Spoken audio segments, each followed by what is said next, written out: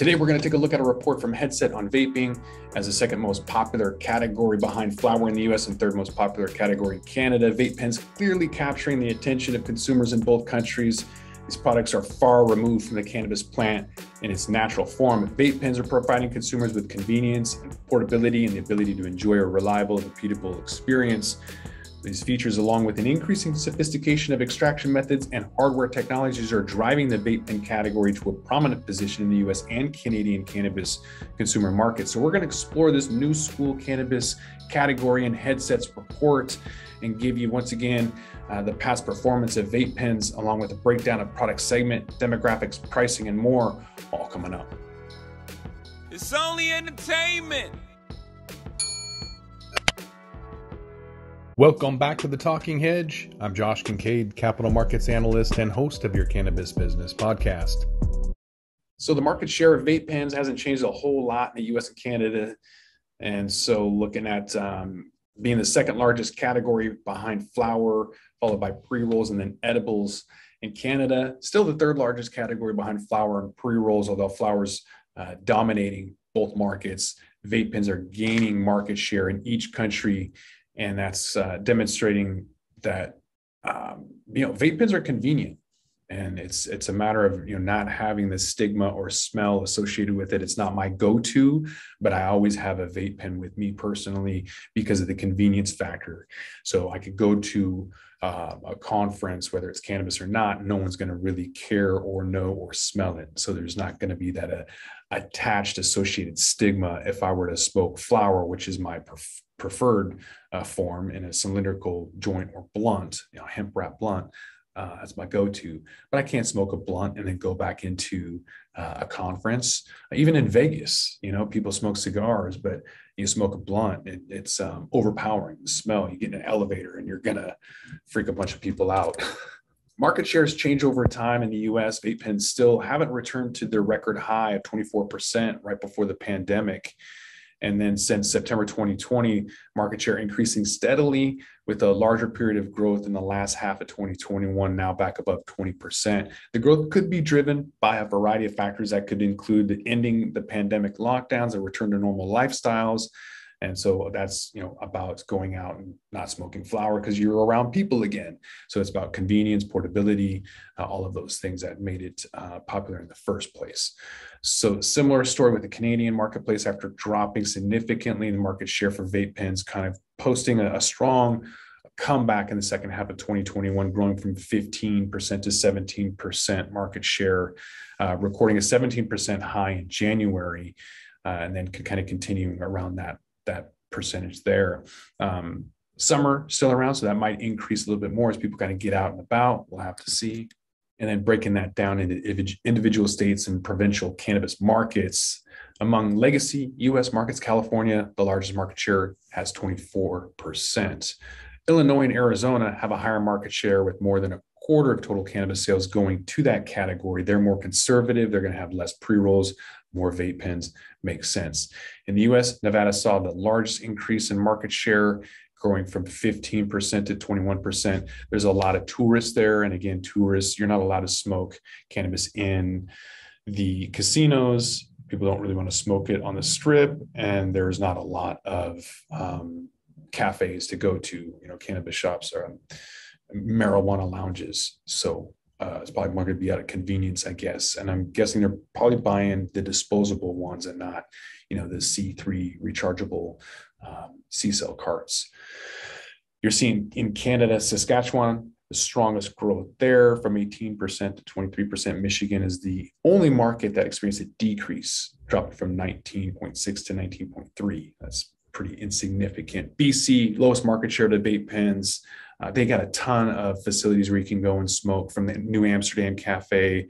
Um, I'm forgetting uh, Mark's place, uh, Culture Lounge. They got a, a, few spots up in BC to go and smoke, and so uh, nobody cares. nobody cares in BC. Who is buying? Looking at demographics on who's buying so far, customers are choosing vape pens. Um, relatively less as age goes goes up. So, for example, consumers in Gen Z tend to contribute roughly double their total cannabis spend to vape pens compared to those in the baby boomer generation because the Gen Z is out and about and smoking um, during the day versus baby boomers probably go home and do a nightcap. Um, I see a lot of Gen Z folks at work doing work they don't want to be doing and they're just out there you know ripping their their vape pens. It's pretty obvious if you can tell by the the style of the vape pen as, as well as the smoke. You can tell what's tobacco what's not. Uh, so a lot of those folks i think are just trying to get through their day. Uh, within most of the age groups female consumers tend to have slightly higher wallet share than male counterparts and you can see the, the opposite is inverse to flower. More males are buying flower, more females are buying vape pens. And then um, Gen Z is the exception to that. In Canada and the US, category is dominant sales of, of carts on all in one disposables are the next most popular segment at around 12%. Uh, that's an increase of about 10% from just last year. In Canada, it's even less. It's only 4.20%. Hey, that's a decrease of almost 6%, though. So it's kind of trailing downwards. Sales in the all in one rechargeable products uh, for the reusable batteries that are sold together, they've declined a small portion. So maybe the people who tried it liked it and then graduated to um, you know the individual components where you have your atomizer separate from your cart, uh, and then um, just cheaper that way. One gram carts, and I won't spend more than like forty dollars now. Those pens have come down fifty. The, the carts have come down fifty percent. Those same um, carts that I like for from Avitas that are like live resin um, uh, or live rosin. They're they were eighty dollars to begin with. I, I, don't like the additional uh, cutting agents or anything that some people have, in that's why Stizzy I guess is somewhat popular, even though I didn't particularly like it. I had a vape cart from them, wasn't great. Um, really expensive for half a gram. One trend that uh, tr- the headset has been tracking in the vape pen category has been the rise of proprietary hardware systems like Stizzy. Normally, the vape pens had a universal format, that 510 thread, but there's been a lot of people who've kind of gone off the, the rails on that. PAX is kind of annoying. Um, you see the PAX pods, for example, and then Stizzy. Um, and that's not going to get folks like me to, to try it. Um, it, it, did because um, I was down in California, ran out, and I really wanted to try uh, Stizzy, and so I tried a, a, a half a gram uh, disposable. Um, so that's I guess that's the exception if you want to try something, but you know why not keep it universal? It wasn't super annoying when we all had. Do you remember when cell phones had different chargers for everything, and it literally was a it made a congressional act. you know these old crusty farts in Capitol Hill that made that change. Uh, and now, like, what we are gonna have different vape pen batteries? Like, I think that's stupid. We should all have a universal one so that we can try different stuff. I think it's, um, uh, I don't know. I think it's it's uh, gonna kneecap the industry by having different stuff. It's um, not something that I would do, but Stizzy's on their own path. Looking at average price or the average equalized price of vape pen products in the US and Canada, that price per gram of vape pen products across all segments and packaging sizes. Um, in Canada, started off high as it always does when it hit the store shelves and then declined through the first two months of the year. I mentioned that they were $80 in Washington. Now they're 40 in California. Remember when they were like 80 bucks for just a gram of concentrate and carts were also 80 to 120 in Illinois when they first came out, but everything always comes back down after um, those greedy bastards realize they can't get that money anymore. But as soon as the doors first open, it's just stupid how high these prices are. And they claim that it's supply and demand, kind of the same BS they're feeding you right now with why gas prices are so high. Uh, while the trend is less dramatic in the US, prices are also decreasing with the average EQ price for vape pens dropping 15% from 38 bucks in April of 2021 to $32 this last year. In Canada, that same price dropped 32% as well, down to you know, 43 bucks.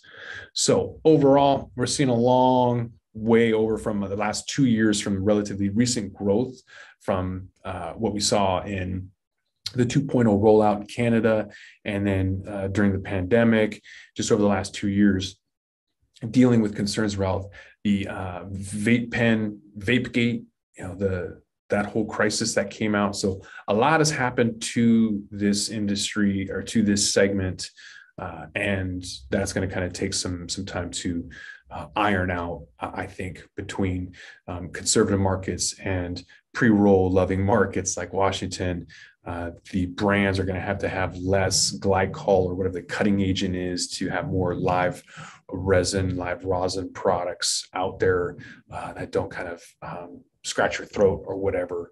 Uh, more branding, more trustworthy products where you don't have to worry about uh, vitamin E acetate or all these other uh, crazy issues with with VapeGate.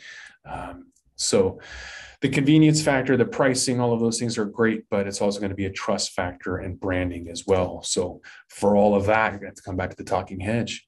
With that, we're going to roll this one up. I'm Josh Kincaid. This is the Talking Hedge. Don't forget to like, share, and subscribe, or don't. And I'm out. Don't forget to smash that like button on your way out and check out these other videos that we've got.